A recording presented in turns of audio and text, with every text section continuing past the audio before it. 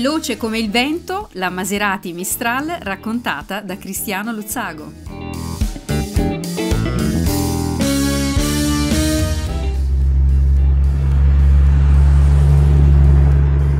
Amici appassionati di automobili da collezione, oggi presentiamo una delle più belle Maserati prodotte. Si tratta della Maserati Mistral. La peculiarità di questo modello rispetto a quelli precedenti è che cambia radicalmente nella linea. Infatti, come sappiamo, Maserati, da piccola industria automobilistica che produceva solo 2-3 auto al mese, con la Touring 3005 GT iniziò a fare una produzione molto più ampia che le consentì di approcciare a un mercato internazionale. La linea della Touring e della Sebring, che erano più tradizionali ancora a tre volumi, avevano un po' marcato il tempo.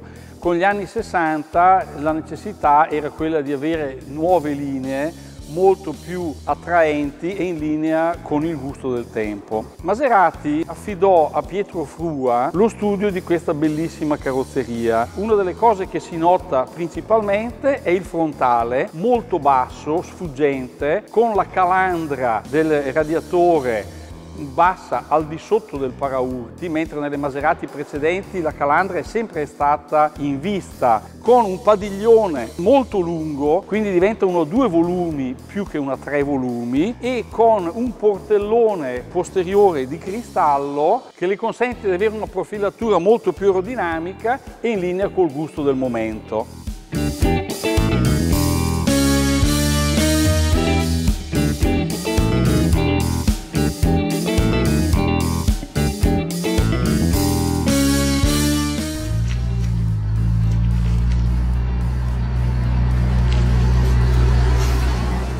La linea della Maserati Mistral è molto molto attraente e nonostante siano passati tanti anni continua ad essere una delle più belle Maserati, secondo la mia opinione, mai prodotte. Ed è anche una pietra miliare perché con la Maserati Mistral termina la produzione di vetture Maserati con il classico motore 6 cilindri bialbero che dagli anni 40 equipaggiò le Maserati nelle Formula 1 per passare poi ai modelli successivi che saranno invece dotati dei motori 8 cilindri. La Maserati Mistral, se è l'ultima che monta i 6 cilindri, è la prima che viene denominata con il nome di un vento. Infatti il Mistral è un vento freddo che viene dal nord della Francia meridionale, che fu suggerito proprio dall'importatore francese della Maserati, il quale sfortunatamente morì proprio in un incidente automobilistico con questa vettura. La Maserati Mistral fu presentata col tradizionale motore 3005 di cilindrata. Nei modelli successivi fu però introdotto il 3007 e per ultima la 4000 come l'esemplare che abbiamo qui con noi oggi. Il motore è il classico 6 cilindri doppio albero a cam interno testa che su questi modelli era equipaggiato con l'iniezione, che era una primizia introdotta già con le Touring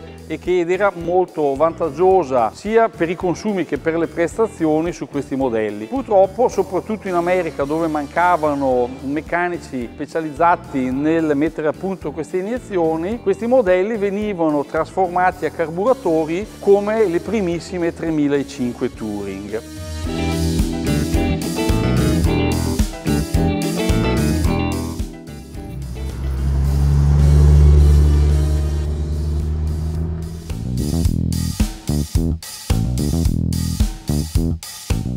Al di sotto del vestito rivoluzionario per le Maserati dell'epoca, la parte meccanica sostanzialmente non subisce grandi modifiche, anche a livello telaistico e di sospensioni anteriori che sono a molle, posteriori a balestre, con i quattro freni a disco e il cambio a cinque marce. Quello che invece è veramente dirompente nella tradizione Maserati è quella che è la parte interna della vettura che negli altri modelli precedenti era sempre quattro posti, invece in questa è soltanto due posti, Come accessorio si potevano avere due seggiolini di fortuna posteriori e questa plancia molto ampia, quasi circolare, con la strumentazione disposta in un modo completamente nuovo rispetto alle tradizioni Maserati che dà un aspetto proprio di grande novità rispetto a quello che si era sempre visto nelle vetture sportive del tempo. Altra caratteristica notevole su questo modello è il portellone posteriore. Questo portellone che abbiamo detto cristallo offre una possibilità di carico addirittura esagerata per una vettura sportiva e la rende unica nel suo genere ed è particolarmente bello sia a livello stilistico che anche di comfort. Altra caratteristica che rende molto bella la Maserati Mistral sono le ruote a raggi borrani. Negli ultimi modelli verranno equipaggiate anche con dei cerchi in lega molto simili a quelli che saranno poi utilizzati sulla Ghibli e su altri modelli.